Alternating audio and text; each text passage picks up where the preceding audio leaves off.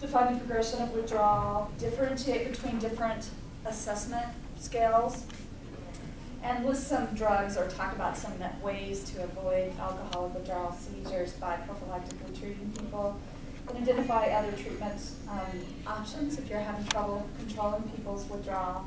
So there's 8 million alcoholics in the U.S., there's probably more than our share in Butte, Montana. It's just been a heavy drinking city, and maybe I'm wrong about that, but I've heard that from other physicians that they've worked other places and they've never seen alcohol problems like they do here. Maybe it's, um, I don't know, maybe that's my imagination, but I suspect we, if you looked at the data, it probably do have a high prevalence, more than some cities. Anyway, there's more than 500,000 episodes a year in the U.S. It's interesting too, because the other physicians I talk to, they'll say in Helena they don't admit people with alcohol withdrawal. I think, how do you not admit people with alcohol withdrawal? I don't know how that works. Because some of these people are, I can't walk, they're vomiting, they're, you just couldn't, I can't even imagine sending them home. Maybe they don't count that if they're really sick. But, so obviously the male predominance is five to one, maybe that's rude for me to say, but at least if you look at the alcoholics that we have in the hospital, the majority of them are men. We do have quite a few alcoholic women as well that keep coming back. But in general, it's men. A lot of them know each other. Have you noticed that? they live together and spread lice, etc. Oh, so um, anyway, not to have a HIPAA violation, but everyone probably knows who I'm talking about if they've been on the floors lately. So um, alcohol withdrawal ingredients. I mean, you obviously have to be dependent on alcohol to get withdrawal. And you have to be withdrawn or abstaining from alcohol, either voluntarily, like you decide, oh, I've got to quit drinking, or my wife's going to leave me, or my husband's going to leave me, or my kids are going to be taken away, or you might be admitted for surgery, acute appendicitis, so you're enforced by injury, or you might be arrested and sent over to the jail. So could we do a sound check? Oh, I turned it off. Okay, thank you. I went to the bathroom. Sorry for the interruption. No, it's okay. That's better, isn't it? You can hear me better. So, you know, obviously the diagnosis is fairly easy for withdrawal in general. Sometimes, though, we miss it because we don't think about the 80-year-old little lady. Nobody knows drinks until she comes in with a broken hip. And all of a sudden, she starts getting agitated and nervous and confused, hallucinating. Um, but you know, when you look at lab tests, that'll give you a clue if their AST and ALT are up. Um, obviously, if they have cirrhosis, their platelets might be low, their INR might be prolonged. You might see stigmata of liver disease, like I should have taken some pictures or shown you some, but you know, the, um, the little spider angiomas that alcoholics have, especially those with liver disease, those are a classic. You can get them from sun damage and other things, but if you see a lot of them, you worry. And if you see evidence of trauma, like they've been in fights or they've been falling because they're getting drunk all the time, that could be a red herring that maybe they're an alcoholic and nobody knows it. Or alcohol affects everything in your brain and your GI tract, everything in your body. It is a, a be-all drug. it's one of those legal drugs um, that uh, affects your whole body. It, one of the biggest things I see, and one of the reasons some of these alcoholics get so sick is they're so nutritionally challenged that I think it makes it harder for them to recuperate. A lot of alcoholics you talk to, they eat every third day, every other day, they're just never hungry. Have you guys notice that? They never eat. Once they get sober, they usually have an appetite, maybe, but it's uh, a serious problem. Luckily, I've never had that happen to me, not wanting to eat. it does happen to them. And so obviously the differential, I mean, it might be that they come in and they look alcoholic, they look drunk, but maybe they're hypoglycemic because someone changed their medicine or they got the wrong prescription. So you always have to think about other things. Or maybe they look drunk or they have a subdural or an intracranial hemorrhage. So you always have to think about other things that could be making someone look like a drunk. And you could have been dr drunk for many, many years and then come in with sepsis you know, so you always have to keep your eyes open for new things in the same patient. Because all of us, especially like hospitalists, you get, oh, it's the same patient. And I'm sure like the shade floor nurses, I've seen this patient six times with the same thing, but today it might be E. coli sepsis instead of. So you always have to keep that in mind. This is the CAGE questionnaire. It's just a questionnaire that you, I don't. You guys don't have to do this in your assessment, do you? Nurses? No. But it's, you know, it's a physician questionnaire normally, but nurses can use it too. It basically is um, a four questionnaire that predicts fairly well whether people have alcohol problems. Have you ever felt like you should cut down? That's the C for cage. Have um, people annoyed you by criticizing your drinking? That's the A. So cut down, annoyed, guilty. Have you ever felt bad or guilty about your drinking? And some people have no remorse, but a lot of alcoholics will feel guilty. Um, have you ever had a first thing um, drink, an eye opener? So that's the E. So um, cut down, annoyed, guilty, and eye opener. So if they answer four to all four, they have 101%. I don't know how they got that percentage. But um, you know, obviously the percentage goes up by accuracy and diagnostic value if they answer yes to all those. And some people just get agitated or feel guilty about other reasons, and it's not alcohol related. The other question I frequently will ask patients is, have you had a DUI? And you do see some alcoholics that have never had a DUI, and you see some people that have had three DUIs and swear up and down they're not an alcoholic, but it's another marker for alcohol problems, and so I frequently ask that. Sometimes people get pissed off at me, but I think it's important to know. I mean, it just helps you with their social. Now, it might have been that their three DUIs were when they were 15 to 29 and they quit drinking. But then usually they'll tell you, yeah, I had three DUIs, but not for 30 years. So then you can say, okay, they're probably going to be all right. So some of the symptoms, which we see all the time in the ER, on the floor, anxiety, nervousness, can't sleep, nauseated, headache. Um, when you go in and assess them, the signs would be agitation, tremor, tachycardia, low-grade fever, and even high-grade fever if they're having withdrawal. Um, stage one is when they get the hallucin I mean the tremulousness. Stage two, hallucinations. Stage three uses seizures, and stage four is the most deadly one, the one we want to avoid, the true DTs. So it's interesting. That was one thing I didn't realize. I was thinking all those stages were DTs, but it's saying really only the end stage is DTs. You know, the ones that are here for six, seven days, because they get really crazy and agitated. Um, so symptom delay, the DTs usually happen three to five days. Seizures usually within the first six to 48 hours. It's usually two days after. Um, hallucinations within the first day. And then tremulousness can happen within six to 36 hours. I mean, you do see alcoholics that truly can go 24 hours without drinking, but they really are an alcoholic. And I tend to say people are alcoholics even if you just use alcohol emotionally. You know, the patient that'll tell you, yeah, I can't relax until I've had my beer. You know, you say, oh, you're an alcoholic. They don't like to hear that. They're probably not physically addicted yet, but they're mentally addicted, and I think it's a bad sign when you start having to have a drink.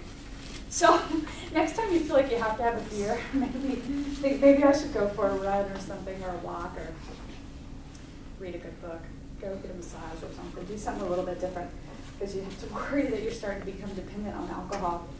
Um, the tremulousness, like I said, it usually happens pretty quick. Um, it's, it's caused by autonomic hyperactivity. And some people have a tremor anyway, so it can be complex. The other thing that's interesting is essential tremors or benign essential tremors will get better with alcohol, so people that genetically develop that as they age. And those patients will tend to drink to control their tremor because the alcohol will reduce their own tremor. Often those patients will become alcoholics though because it's, it's a catch-22. Have you seen anyone like that? I've seen quite a few patients. Quote, I only started drinking for my tremor. And I, I do sometimes believe that. And then it's easy just to continue drinking. The other one that was funny that I heard in my office one time from an alcoholic is, well, I was traveling to Mexico and my doctor told me to drink tonic water. And then I started drinking gin and tonics, and it's that doctor's fault that I'm an alcoholic. I'm like, okay, whatever. I don't think your doctor told you to drink gin and tonics, but I can understand that the tonic water tasted bad without the top gin, I guess. I don't know. Anyway, so the stage two hallucinations, we've all seen these the pink elephants, the pink dolphins, the weird crawling bugs on the wall. It's a sign to be concerned. And you can have uh, auditoria and visual hallucinations just from an acute delirium from sepsis or from um, just your hip fracture and hypotension and just clinically being ill. So it doesn't necessarily mean you're an alcoholic. People are developing those. The stage three, which is this, the rum fits, this is one that when I was reading through the literature, it was talking about prophylactically treating patients that have had a high risk of seizures by giving them anti-seizure medication at the front end of their alcohol withdrawal to keep them from having a seizure. I thought that was really interesting because I didn't learn that in my training. Did you guys learn that in your pharmacy training? No.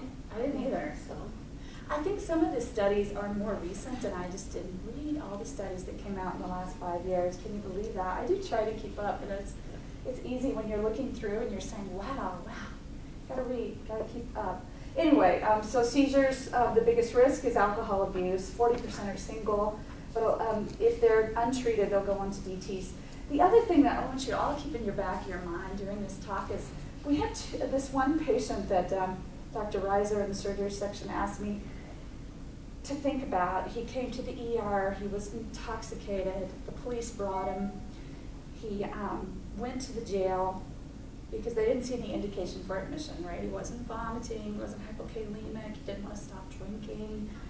He was just drunk. So they sent him to the to the jail, and he had a seizure and came in with a um, uh, hematoma.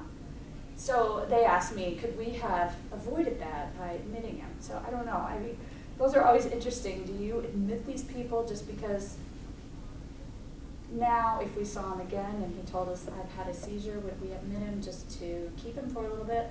Maybe, but you can think about that. I'm still not sure we could have helped that guy. And then he came back again. I think he got arrested again and had another seizure, another bleed. it's like this poor guy. He obviously is malnourished, doesn't eat, and that um, enhances his, his health risk. So anyway, the rum fits we want to avoid people having seizures. So this just talks about how much alcohol puts you at risk for withdrawal or alcoholism or seizures per se.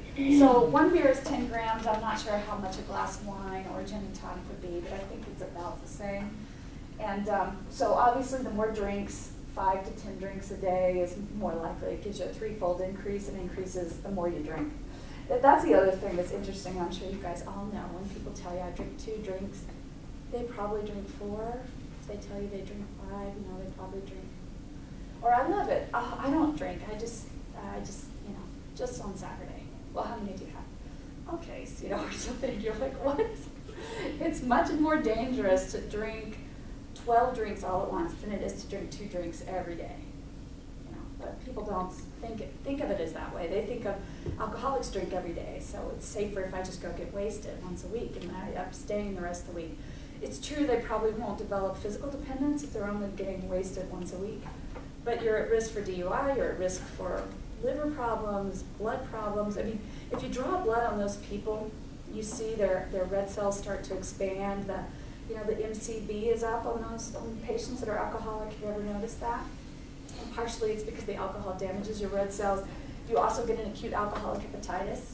So most of those patients, if you were to draw blood the next day after they got drunk at a party, even though they're not an alcoholic, you would see acute alcoholic hepatitis. Even a well-nourished person like me, if I were to go and get really wasted, probably the next day you'd see lab abnormalities. The good news is the liver heals extremely well, and so most of the time it feels fine, but it's not a good thing for your health. I don't mean to diverge, I'm sorry.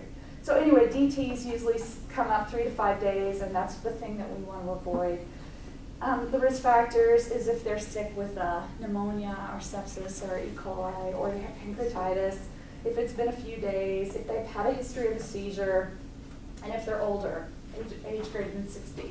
So obviously what we want to do is we want to make these patients feel better, prevent seizures, prevent DTs, and prevent medical complications the other thing that I find a challenge taking care of patients that are alcoholics is it seems like we've seen them over and over and over again. I find it very frustrating. and sometimes it's hard to be compassionate when you they seem so self-destructive, but try to some try. it's, not always easy, is it? It's like, sometimes it's really hard, but a lot of these patients are doing the best they can. They just are having all kinds of physical problems that they're having trouble making changes in their lives. But so the quiet environment helps, especially if they're in DTs, they need a high fluid rate. If you look at our DT protocol in the past, it's had like 200 an hour. I think I dropped it down to 150. And um, make sure you get the potassium, magnesium better. Benzodiazepines are going to be the cornerstone of treatment, obviously. Um, and I love the patient who has an allergy to Ativan because grandma came in and she got Ativan. Well, it's because she's an alcoholic. the Ativan didn't make her confused. She was confused because she was having DTs. But you know those patients, they say, well, I'm allergic to Ativan. I'm allergic to Haldol. That's like the ones that say they're allergic to morphine. No, wait, Toradol. What do they say they're allergic to? Toradol, Darvocet, right? So they can get morphine and other narcotics. Yeah, they're allergic to. They're allergic to anything unless it's morphine or Dilaudid. Anyway, so benzos are the cornerstone treatment. Um, this is something that I learned, that it was a new study in 2007, and it's been my instinct to just treat them symptomatically, but basically what the new, the, the, the study that I read is um, that if they're, and we can get into it in a minute, but that, that what you want to do is generally do symptom-triggered treatment unless they're super high risk for DTs, and those patients you want to front load with a fixed dose. Um, so I have got some more slides on it, but basically benzodiazepines, they reduce the psychomotor agitation. As soon as you give it to them, they calm down. Although I'm amazed how many people in the ER have a 0.35 and they're begging for Ativan. And they already have a tremor. Have you seen those patients or is it just me? Maybe it's the ER. If you don't work the ER, you don't see those patients. But I don't know, maybe those people ride 0.45 all the time and 0.3 feels bad for them. But it's interesting. You can have withdrawal even if you're still drunk. Um, but I tend to be want to hold hold the Ativan until maybe I shouldn't be holding it. That's one thing I was reading this saying. You know, maybe I should be more compassionate, and if they really are having signs of DTS, even if they're drunk, maybe they do need it. It is sometimes hard because you wonder, are they making this up? You can't make the fever up. You can't make some of the physical autonomic hyperactivity up. Certainly, if their heart rate's 60 and their blood pressure is 100, and they're telling you they're tremoring, you know, or having withdrawal, they probably aren't don't you think? You know, but if their heart rate's 120 and their blood pressure is 150 and they look sweaty and agitated, they probably are, even if they do have an alcohol level of 0.25. So Valium, Valium and Librium and Ativan are the most common. Here we use Serax as well. Um, and um, Valium is nice because it has a very long half-life. Half. Um, so treatment of these of patients with DTs or withdrawal, big schedule is what we've been doing at St. James per our protocol for the last, I don't know, 10 years or so. Although, you know, I find that some of the nurses hold the benzos if they don't think they need them. Don't you guys hold them sometimes even though you're supposed to give them? For sedation. Yeah. Um, and, and sometimes they just look so good, it doesn't make sense, I think, sometimes. So the, the change in the order is one thing is to make a PRN so that you can assess them, use the CWAS score to help you. And um, the symptom triggered therapy, which is what I was going to propose that we use, goes on this um, Clinical Institute Withdrawal Assessment um, Guide, which I think you told me we are using basically. Centricity doesn't have it perfectly in there, but that's what the nurses are using. Um, the advantage is, you know, you give fewer benzos and you do a shorter course on these patients than if you continue to give it all the time. Um, Obviously, a disadvantage is that you could have someone end up in DTs or have a seizure because you missed the autonomic activity, or like I said, it's hard to continue your compassion and focus on that patient when they seem to be making things up and then the next thing you know they aren't making it up. You know, that's the hard part too. It's, it, it is hard. Um, so basically it's a 10 item system and you guys know it. I shouldn't even be describing it to you. It, it was just new to me and it describes the withdrawal severity. It correlates with, with severity. It, it's helpful to talk, and maybe the doctors do need to know, so you can tell me, it has a, they have a CMI score of 10 and I'll know what you're talking about. Because if you told me that today, I wouldn't probably still know what you were talking about, although I've recently read about it, but maybe it's something we should be telling each other. But obviously, if they have very high CY score, you should be calling the doctor and call and saying, look, I can't get this patient under control and they're very they're still having very severe withdrawal. Um, so it enhances um, communication. So the caveats, it's not diagnostic of withdrawal because you can have a high CWAS score for other reasons.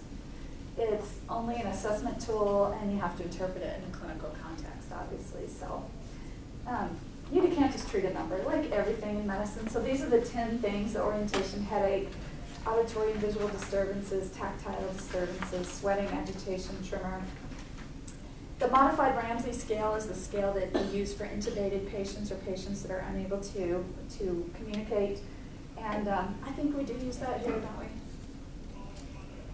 Not are the ICU nurses using for intubated patients? they're using the CWAP from what I understood now. I'm not in the ICU, but when I did ask them, they're using the CWAP scale. Okay. So they're not differentiating between a patient who's with on the tube or anything like that. They're just using the CWAP for a patient who communicate back to them. Mm-hmm. Right, and if you can get communication with the patient, you should use the CIWA scale. This is designed for patients that can't talk and so, or can't communicate. Right. So it's a very simple scale, and we probably should be using for those intubated patients. So, and I think it'll come on Epic because I got these order sets right off some Epic systems in Seattle. So they're kind of handwritten, but they'll be on Epic and they'll be easy to use. I think, hopefully. And this is just another agitation scale that you can use in the ICU as well basically just um, on how to decide whether they need treatment with benzos. I mean, our nurses in the ICU are extremely skilled in knowing whether they should turn up the Versed or not. So many of those patients are on the Versed drip, so they're already doing it. It's just instinctual rather than written down and scaled. That's the interesting part about taking care of patients. A lot of it is instinctual and it's not necessarily something, but it is nice if you use a system so that you can talk to each other and not just this is my gut instinct versus you know your assessment. Um, so here's some fixed dose regimens. I think the one that I ended up choosing was the Librium or the chlorodiazepoxide. It should be cheap, right? And I've heard that we have it in our pharmacy. Librium I haven't used for a while, but a couple of the doctors that have come and worked for me have told me that they've used it in other hospitals and it's worked really great. And so, although it's not IV, is it? Well, So- I think it comes IV, we don't have any other fuel. Yeah, well, and, I, and my instinct is for now. I'd have to look at how I did the orders with that. But I think if they if they can't if they need IV, we can go to Ativan, which makes sense. So I think I wrote for both. Um, so the, the advantage of Librium is it's um, intermediate onset. It um, it has a potential accumulation though for people with severe liver disease, and all benzos have a, a, a, po- a possible accumulation, even Versed in somebody with severe liver disease, and elderly. So it really shouldn't be given for those patients.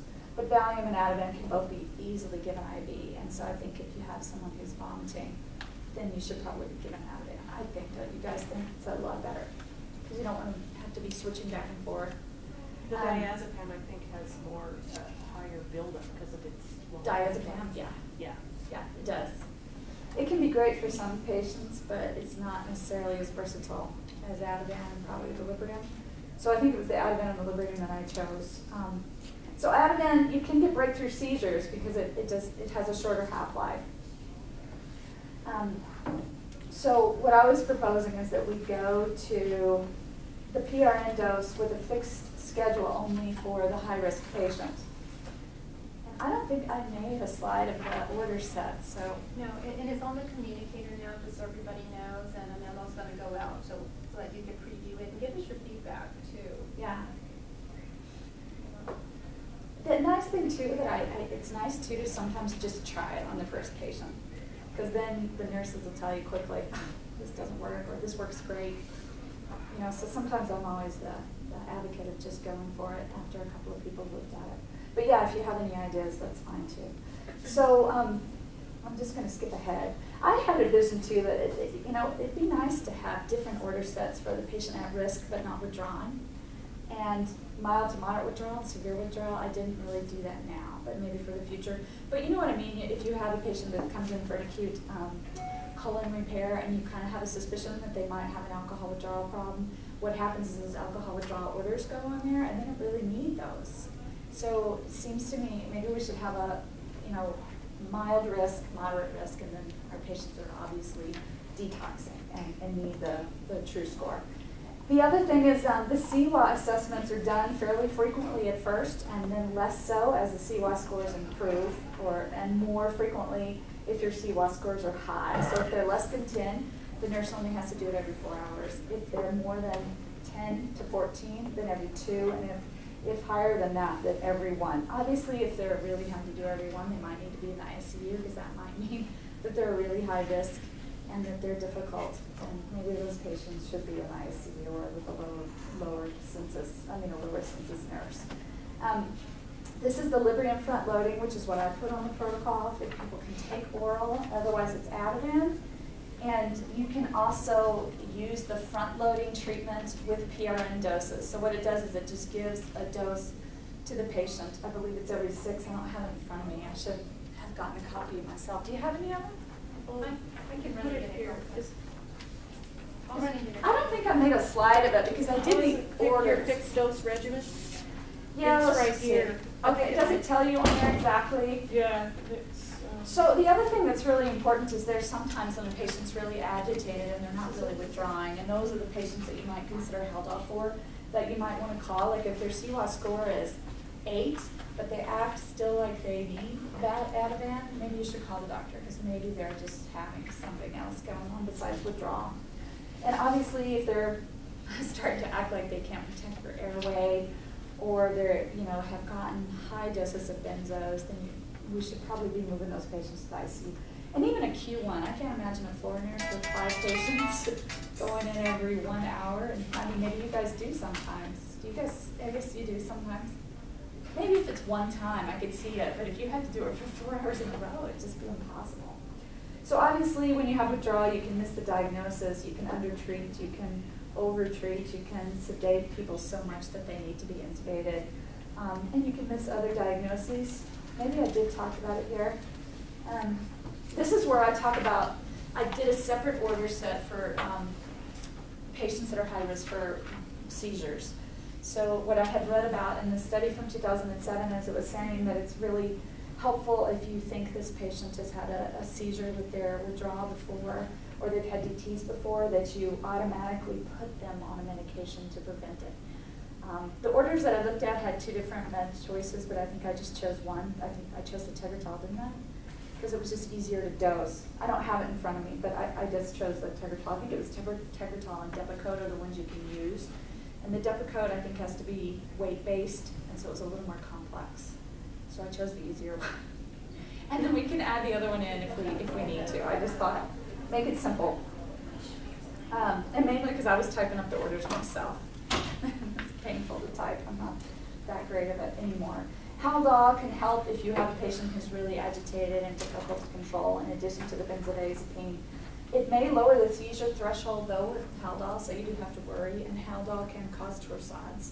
So if you have a patient with a bad heart or an older patient, you might be concerned. So it looks like for the seizure, oh, it was a separate order sheet for the seizure order, Susan. But anyway, Oh. that one, I just chose one of the medications and I think it was Tegretol. Okay. Because the, you had two choices, you had Tegretol or you had valproic acid, it's just too complex. so I thought we'd try it, if, it, if we need to switch it, we can. Thiamine is really important for patients with alcoholism and uh, poor nutrition.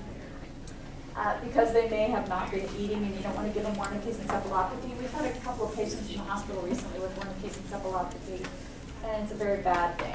Um, and so you want to give them their thiamine before you give them D5 and even before you feed them. So that's one of the first things they do in the ER is they hang a yellow bag. Have you seen those yellow bags? So that's thiamine and folate. Um, and you can give it IV or PO or IM, right, Susan? Yeah, okay.